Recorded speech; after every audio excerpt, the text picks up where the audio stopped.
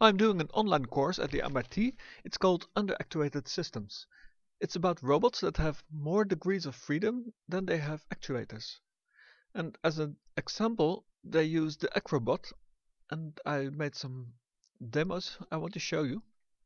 The Acrobot uh, is connected to the world uh, with one free joint that has no motor, no actuator, and it has an, but it has another joint at the elbow, which has uh, a servo motor attached to it.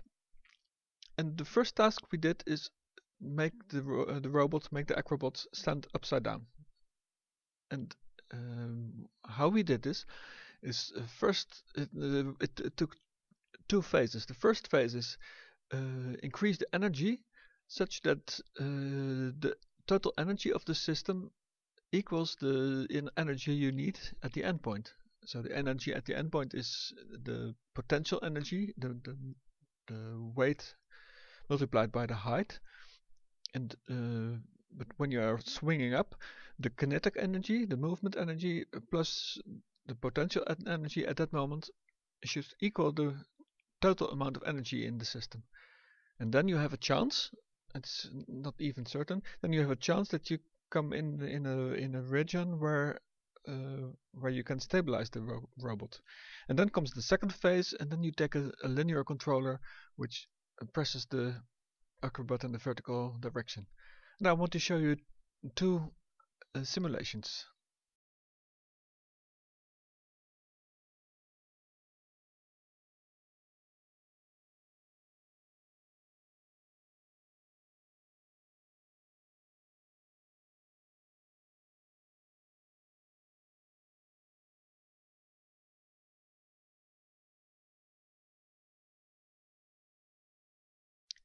Secondly, we made a robot catch a ball. And for this problem, we used a more advanced solution than the first one. Uh, in fact, it's uh, quite advanced, a, black box, and you can give it uh, uh all the dynamics of the system. System.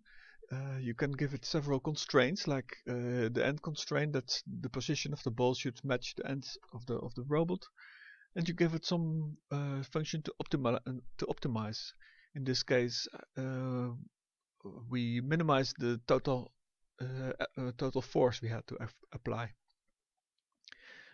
it's important to understand that it is that it is a, a simulation and and also we assume that that we know all parameters at every moment, including the position of the ball.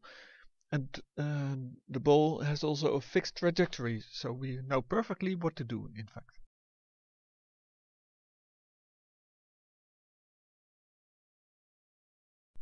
As another exercise, we added a cost for the height at which the robot catches the ball. So the higher the better. This is the result.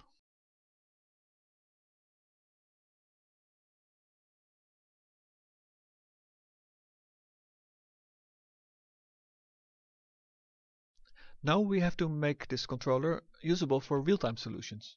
There are two problems. One is that the optimization optimization time is much longer than the total animation time. So this uh, animation took a few seconds and it took approximately one minute to uh, to optimize on my computer. So imagine how it is for more complex robots. Secondly, uh, we need we need the controller to be more robust. So uh, it must it must uh, deal with variations in the trajectory of the ball, for instance so what we do is we uh, make a record of the of the of the control and then we add a linear controller on top of that which uh, is uh, which can vary a little bit uh, on uh, based on the input signals of the of the sensors for instance. So uh, I play the animation three times and you will see slight derivations of the of the original